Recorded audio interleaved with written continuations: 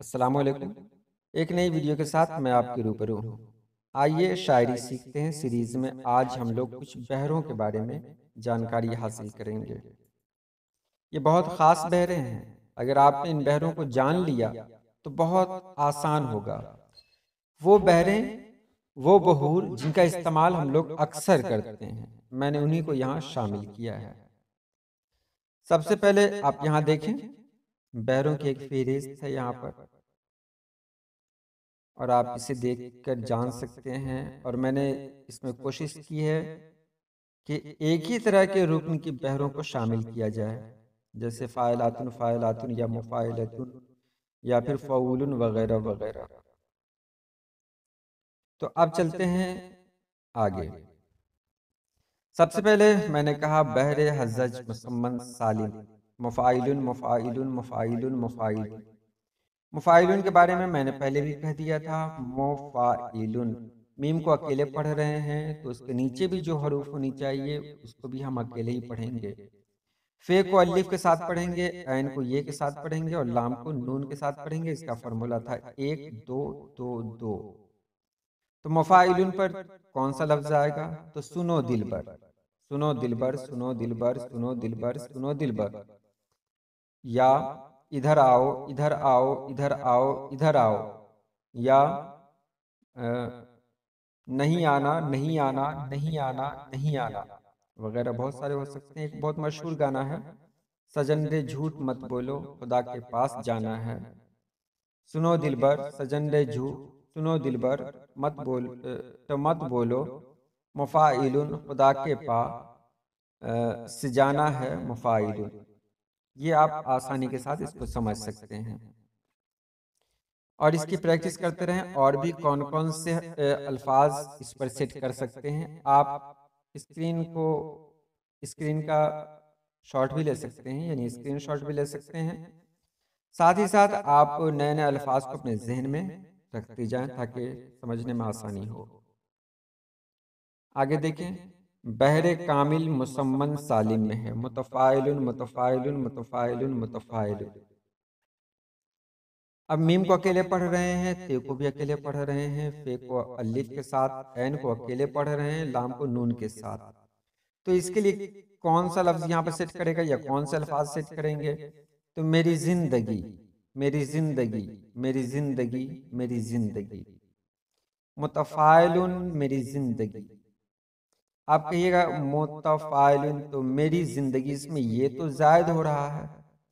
तो ये जायद हो रहा है लेकिन आप देखेंगे जब पढ़ेंगे तो आपको एहसास हुआ कि ये को पढ़ने में नहीं लाया जा रहा है। मेरी ज़िंदगी रेजेर रे मीमजेर में रेजेर रे मेरी ज़िंदगी मेरी ज़िंदगी। इसी तरह एक बहुत मशहूर गाना है मुझे दर्द दिल का पता न था। मुझे आप किस लिए मिल गए मैं अकेले यूँ ही मज़े में था। मुझे आप किस लिए मिल गए? तो वो इसी बहर में है। और आप यहाँ पर देख सकते हैं। मुझे इसमें भी वही हाल है। मुझे जीम को चश्मी है को तो शुमार किया ही नहीं जाता है। जिम के नीचे जेर दे दिया तो काम चल गया। मुझे दर्द दिल मुतफ़ाइल का पता न था मुतफ़ाइल मुझे आप किस मुतफ़ाइल लिए मिल गए मुतफ़ाइल? अब आगे देखें। बहरे रमल मुसम्मन सालिम है। फ़ायलातुन फ़ायलातुन फ़ायलातुन फ़ायलातुन। फ़ायलातुन को सबसे पहले समझें फ़े के साथ अलिफ एन को अकेले पढ़ रहे हैं लाम के साथ अलिफ ते को ते के साथ नून। इसको कैसे पढ़ेंगे? फ़ायलातुन ज़िंदगी है। अब देख रहे हैं जे को नून के साथ पढ़ रहे हैं जिन।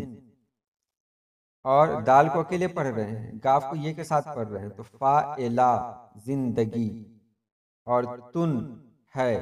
बिल्कुल इस पर सेट कर रहा है फ़ायलातुन फ़ायलातुन फ़ायलातुन फ़ायलातुन ज़िंदगी है ज़िंदगी है ज़िंदगी है ज़िंदगी है रोशनी है रोशनी है रोशनी है रोशनी है आरज़ू तुम आरज़ू तुम आरज़ू तुम आरज़ू तुम उसके बाद चांदनी से चांदनी से दोस्ती से बहुत सारे अल्फाज इस तरह के हो सकते हैं जो आप इसकी प्रैक्टिस किया करें। बहरे वाफिर मुसम्मन सालिम। मुफ़ाइलतुन मुफ़ाइलतुन मुफ़ाइलतुन मुफ़ाइलतुन। अब इसको देखें, मीम को अकेले पढ़ रहे हैं, फे के साथ अलीफ है एन को अकेले, लाम को अकेले और ते के साथ नून को पढ़ रहे हैं। तो मुफ़ाइलतुन दुआ है। अब देख रहे हैं। दुआ, दाल को अकेले पढ़ेंगे, फे को एक साथ पढ़ा तो एन को एक साथ पढ़ रहे हैं। दुआ है, दुआ दुआ है, दुआ दुआ है, दुआ, मुफा एलतुन तो यहाँ पर है को भी देखिए। है को किस तरह पढ़ रहे हैं? है को क्लियर नहीं पढ़ रहे हैं। दुआ है दुआ दुआ है दुआ। है को जेर के साथ पढ़ रहे हैं। दुआ है दुआ दुआ है दुआ दुआ है दुआ। इसको और भी दूसरे तरीके से बनाया जा सकता है। इससे बेहतर भी आप बना सकते हैं। अब आगे देखें, बहरे मुतकारिब मुसम्मन सालिम। फ़ूल फ़ूल फ़ूल फ़ूल फ़े को अकेले पढ़ रहे हैं एन को वाव के साथ, लाम को नून के साथ। तो इसमें क्या हो सकता है? नमाजी। शिकारी जनाजा किनारा उतारा शिकारा उसके बाद इधर से उधर से कहाँ से जहाँ से ना नदी से बहुत कुछ हो सकता है। अगर कोई बहर का रुकन आपके पास हो तो उसको सुने और उस पर अपने अल्फाज को तरतीब देना शुरू कर दे। उसी वक्त इससे क्या होगा कि आपको आदत बन जाएगी और आपको कोई परेशानी नहीं होगी आगे। आगे। देखिए बहरे मतदारिक मुसम्मन सालिम। फाइलुन फाइलुन फाइलुन फाइलुन तो फाइलुन कैसे पढ़ रहे हैं? ये पाँच हरूफ हैं इसके अंदर अलिफ के साथ इनको अकेले लाम को नून के साथ। अब देखिए जाम है नाम है दर्द है सर्द है। यानी पहले दो हरूफ एक साथ आखिर के दो हरूफ एक साथ और बिचला जो हर्फ है, उसको अकेला पढ़ना है। तो जाम है, सर्द है, दर्द है, धूप है, चाँद है, रात है, बहुत कुछ हो सकता है इस पर। अब आगे देखें इसके क्या है। बहरे हिंदी मतकारिब असरम मकबूज महजूफ। फेलुन फेलुन फेलुन फेलुन। फेलुन। यानी चार हरूफ के हैं और दोनों हरूफ को एक साथ अदा करना, यानी दो इसका ग्रुप बनेगा फे दो हरूफ एक साथ और दो हरूफ एक साथ, फेलुन फेलुन, जाना, पाना, दादा, बाबा वगैरह।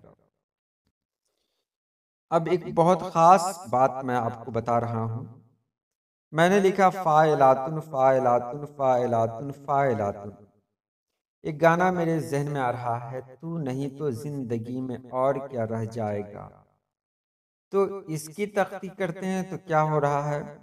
फ़ाइलातुन, तू नहीं तो। फ़ाइलातुन, ज़िंदगी में।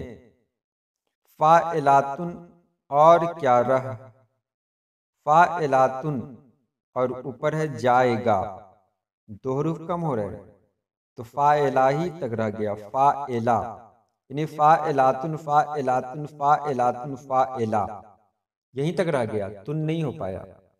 अगर और क्या रह जाएगा हाँ और क्या रह जाएगा बस और क्या रह जाएगा तू और क्या रह जाएगा हम। इस तरह दो हरूफ और बढ़ाते तब इस बहर में मुकम्मल आता। लेकिन यहाँ पर देखें फाइला तक ही रह गया। अब क्या फाइला को फाइला कहेंगे? तो जी नहीं, फाइला तो कोई रुकन है नहीं, कोई बहर में है नहीं फाइला। तो उसको फाइला को देखें, फाइला पे को अलिफ के साथ, एन को अकेले पढ़ रहे हैं और लाम को अलिफ के साथ पढ़ रहे हैं। तो दो, एक, दो। तो दो और एक, दो में कौन सी बहर आ सकती है, कौन सा रुकन आ सकता है? तो उसको नीचे देखें। फाइलातुन में अगर तुन कट गया, सिर्फ़ फाइला रह गया तो इसको फाइला नहीं पढ़ेंगे फाइलुन पढ़ेंगे। तो ये इसकी तख्ती करेंगे तो कैसे हो जाएगा? फाइलातुन फाइलातुन फाइलातुन फाइलुन। इसमें बहुत सारे लोग कंफ्यूज करते हैं और ये सोचते भी हैं कि आखिर ये फाइलुन कैसे हो गया? क्यों हो गया? तो इसलिए हो गया कि फाइलातुन ही कट गया। लेकिन कटने के बाद उसको हम अधूरा नहीं पढ़ सकते हैं। अब उसके मुताबिक कोई दूसरी बहर लेंगे। और उसको वहाँ पर सेट करेंगे। कोई दूसरा रुकन लेंगे और उसको वहाँ पर सेट करेंगे। अब यहाँ पर फायलात तो आपने देख लिया। मुतफ़ाइलुन अगर कहीं है और उसमें लुन कट गया मान लिया लुन नहीं पढ़ रहे हैं तो क्या हो गया मुतफ़ा? तो क्या मुतफ़ा हम पढ़ेंगे? तो मुतफ़ा तो पढ़ना नहीं है। जैसे मैंने पढ़ा मुतफ़ा एलुन मुतफ़ा एलुन मुतफ़ा। इतना ही हो गया।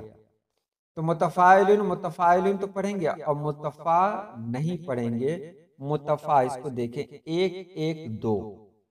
तो जब एक एक दो है मुतफ़ा। एक एक दो। तो इसको कैसे पढ़ेंगे?